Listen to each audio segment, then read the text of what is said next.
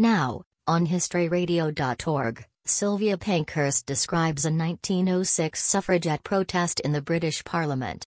The songs you hear at the start and at the end of the program are contemporary Edison recordings.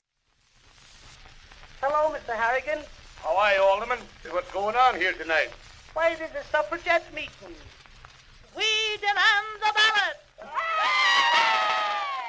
Home is where the husband is, be it near or be it far, office, theatre, Pullman car, pool room, polls, or corner bar. All good wives, remember this home is where the husband is. Women's place is home, I whiz. Leave your family bacon frying, leave your wash and dishes drying, leave your little children crying. Join your husband, near or far, at the club or corner bar. For the court has taught us this home is where the husband is. Alice Duer Miller.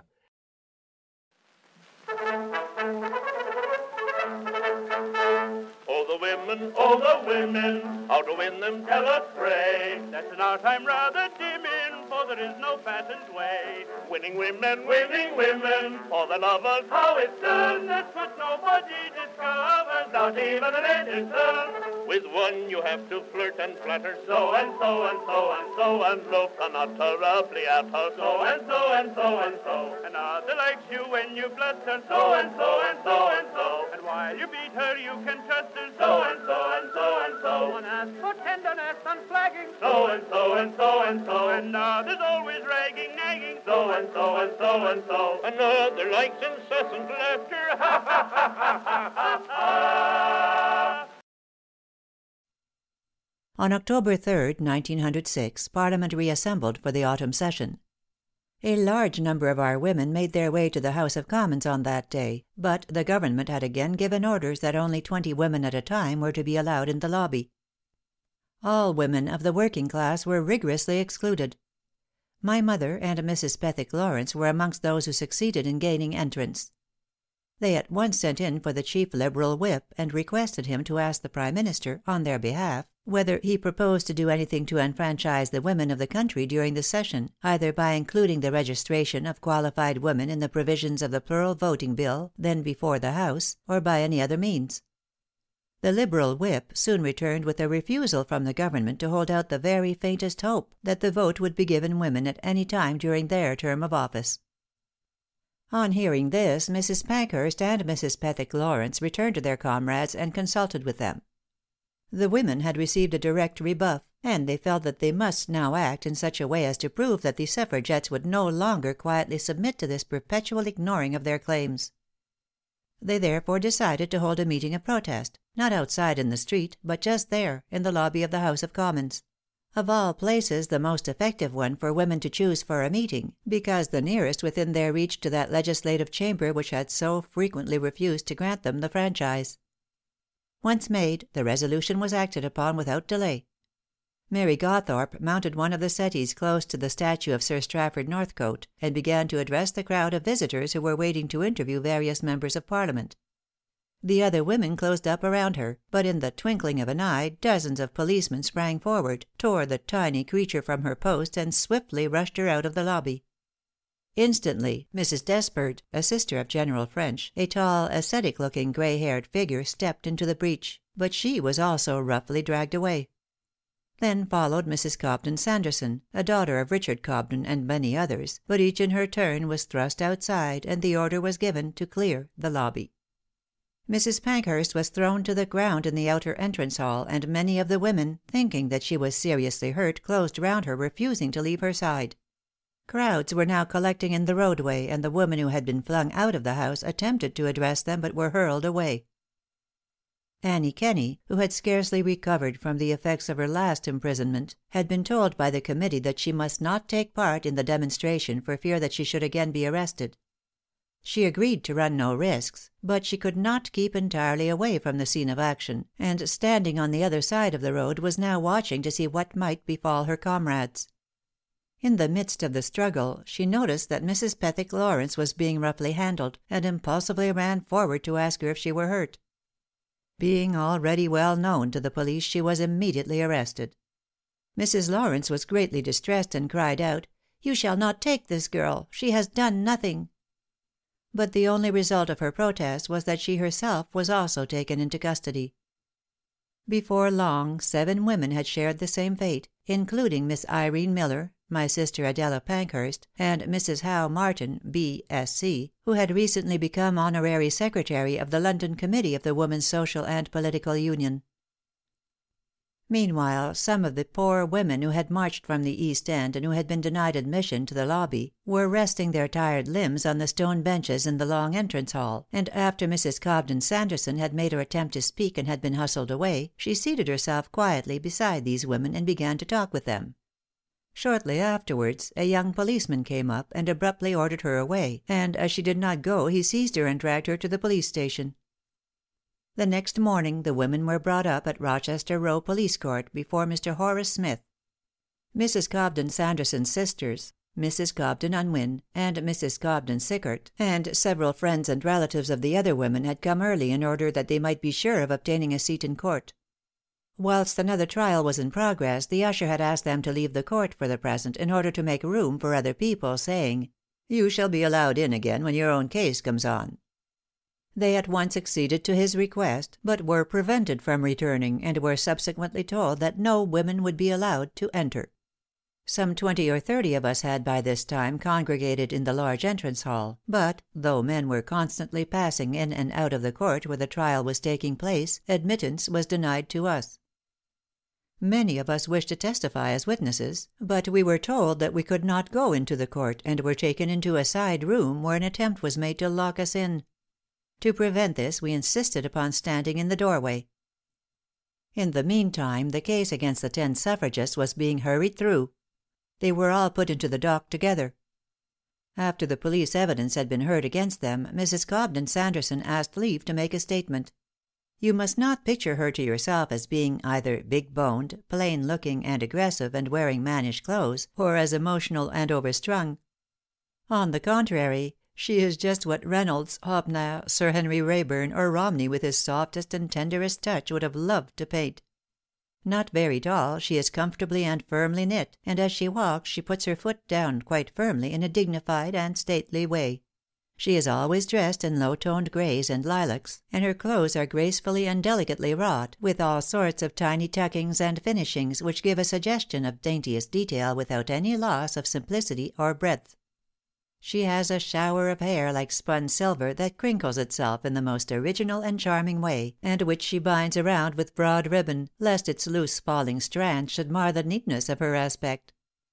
Her cheeks are tinged with a soft, dull rose that one sees in pastel, and her eyes have the most genial and benevolent glance.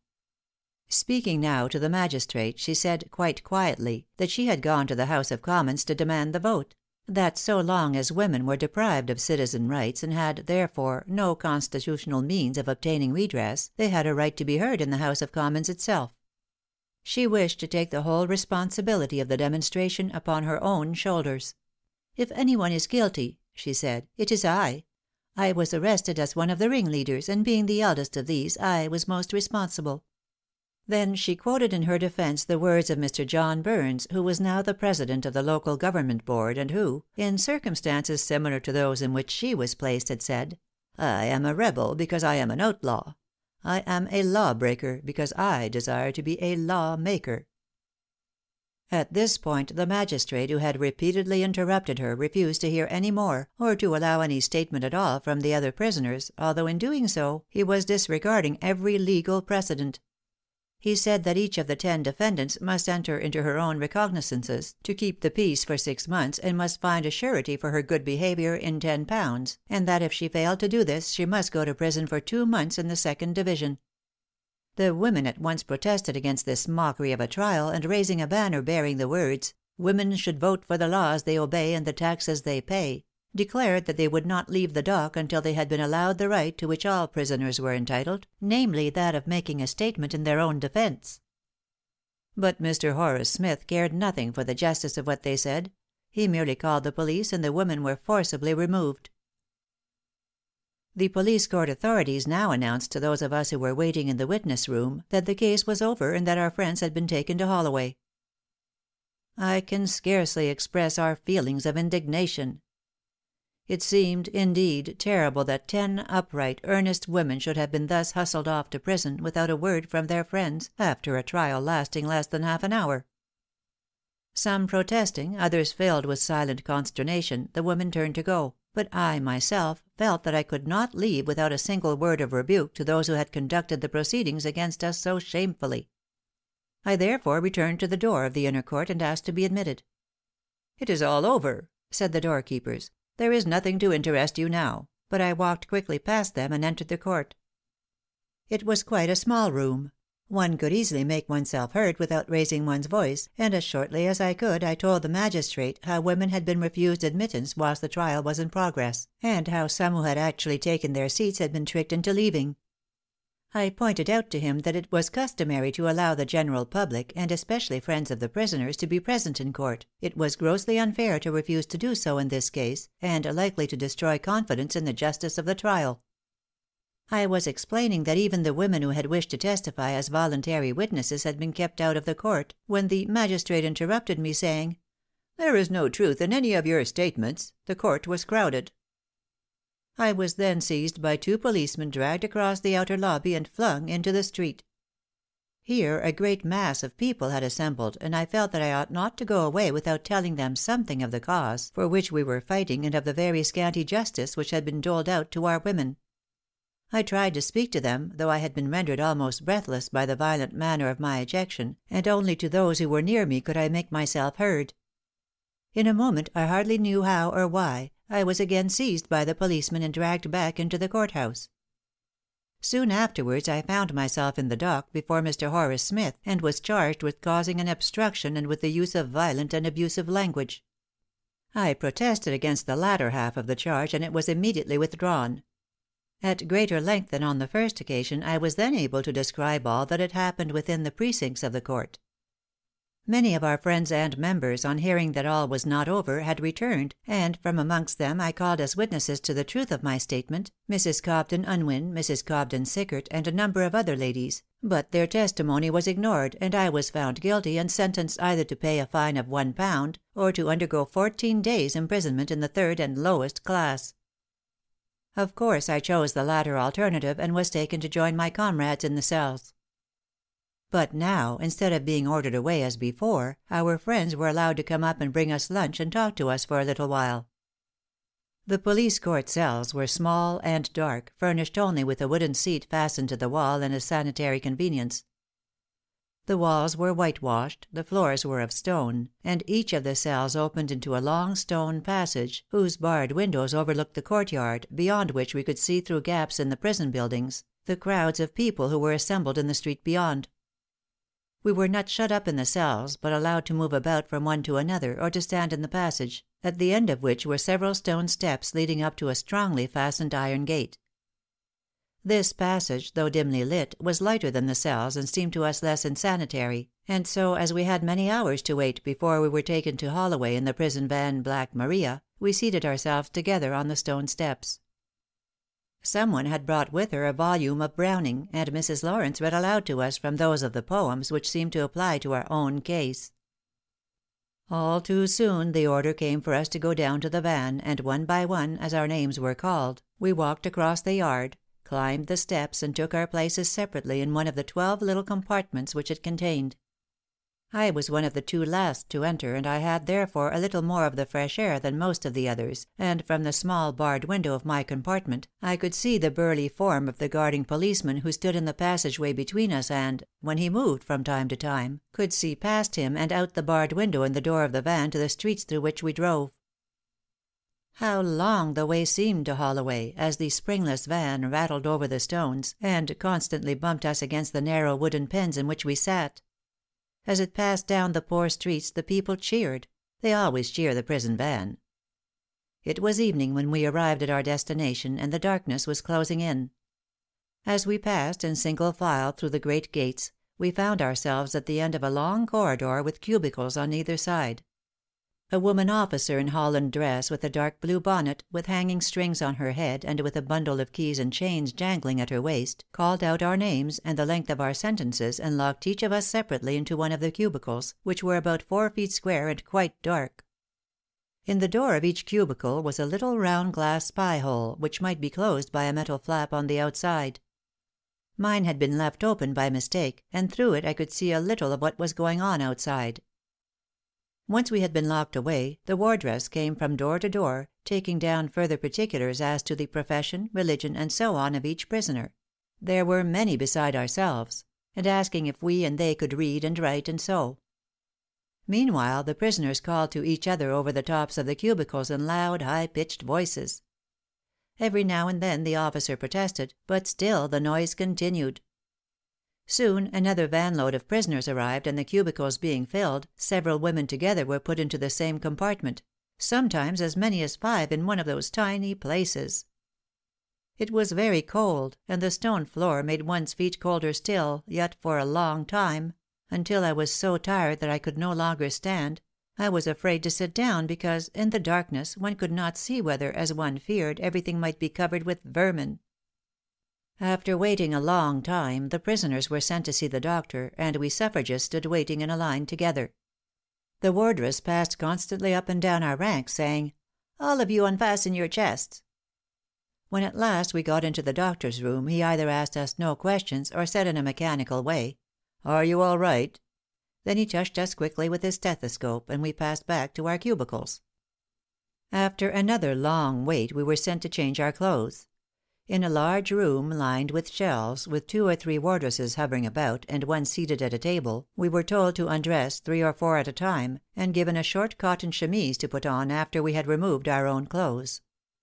Then we were ordered to hand over our clothes, hats, dresses, boots, and all together, which were roughly tied up in bundles and placed upon the shelves. Then, barefooted, and wearing only the chemise, we were made to march across to the officer at the table. The officer now told us to deliver to her our money, jewelry, hairpins, and hair combs. She gave us back the hairpins and kept everything else, taking down particulars of these and entering them in a book. At the same time she again asked us our names, ages, and the other particulars which we had now given so often. After this we were searched the officer first telling us to put up our arms, and then feeling us all over and examining our hair to see that we had nothing concealed about us. A wardress then led us through a doorway into the dimly lit bathroom.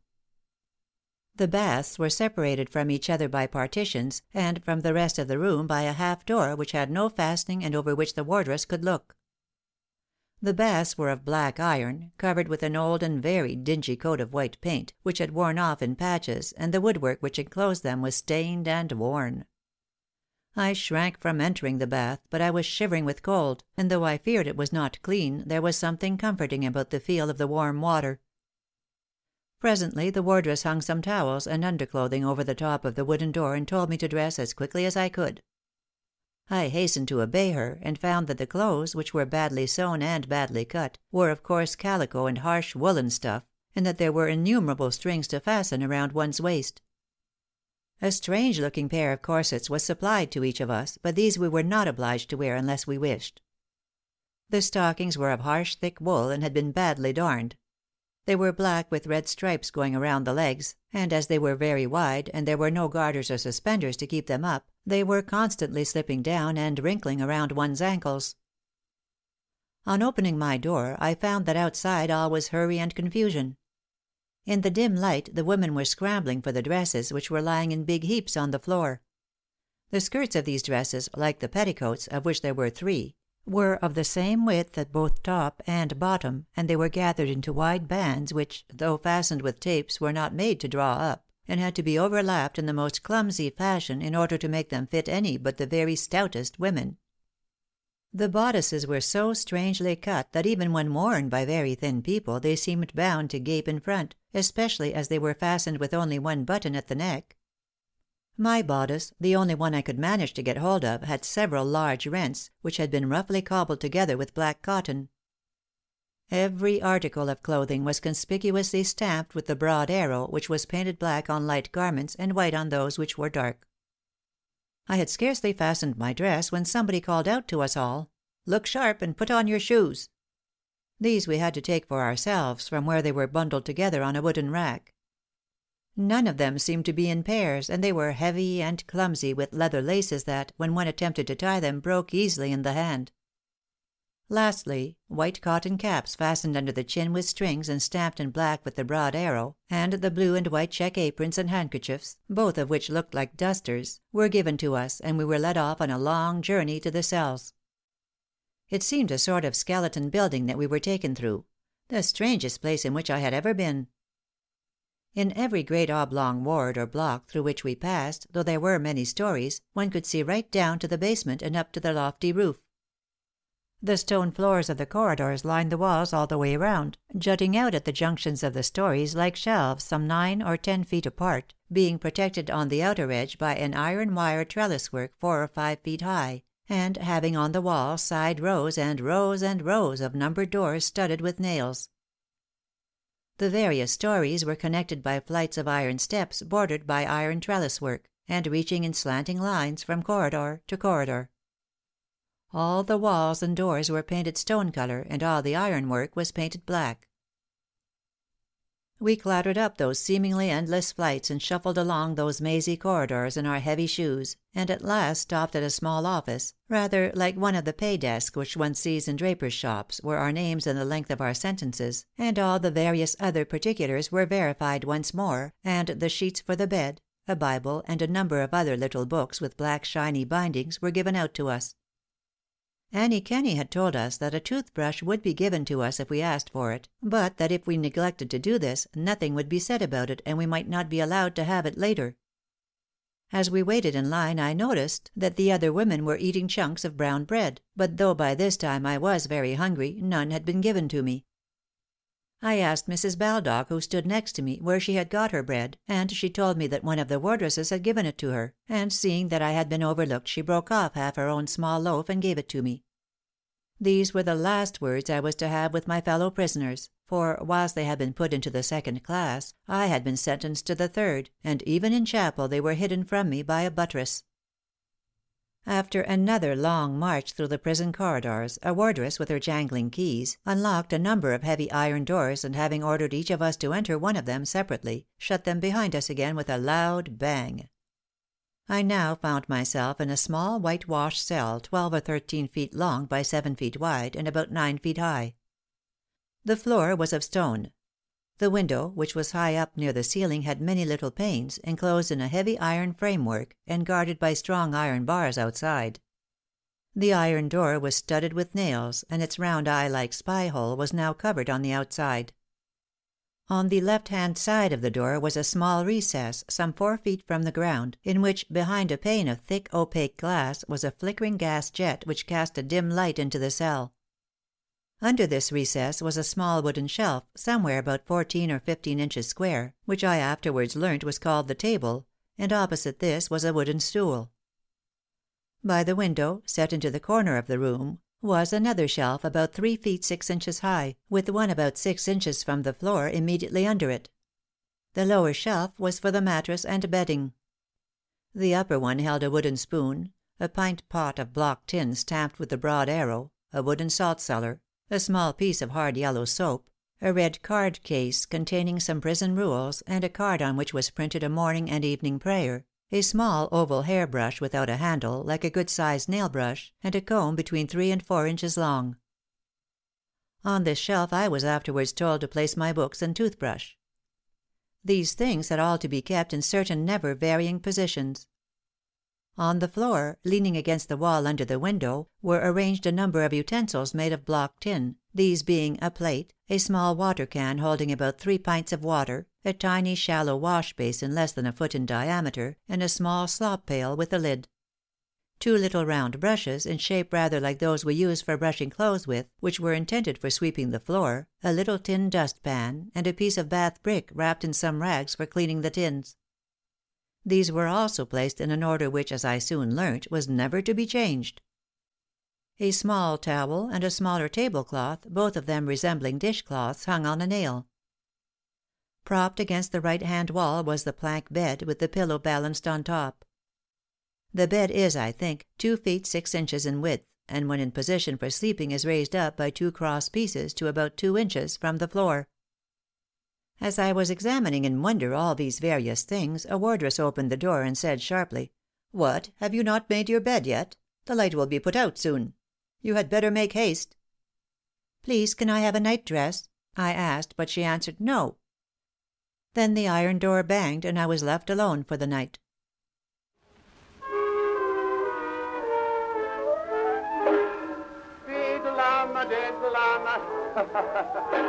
I've been reading in the papers of a very funny land. It's the land where the women wear the trousers, where woman is the boss and poor old man is second hand.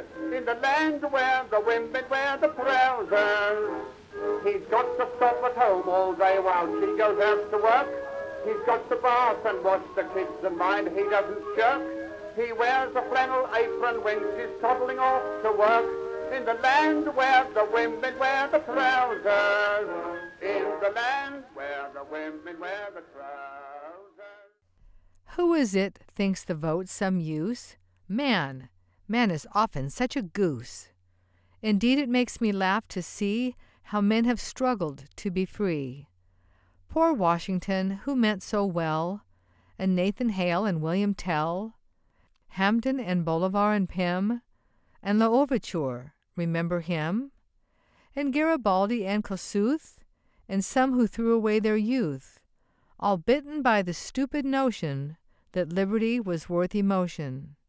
They could not get it through their heads that if they stayed tucked up in beds, avoiding politics and strife, they'd lead a pleasant, peaceful life.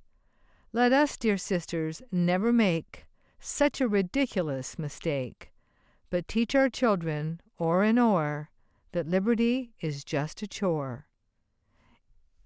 Alice Duer Miller You have just heard Sylvia Pankhurst's description of a 1906 suffragette protest in the British Parliament. The songs you heard at the start and at the end of the program were contemporary Edison recordings. This is HistoryRadio.org, a free radio stream promoting knowledge of literature and history.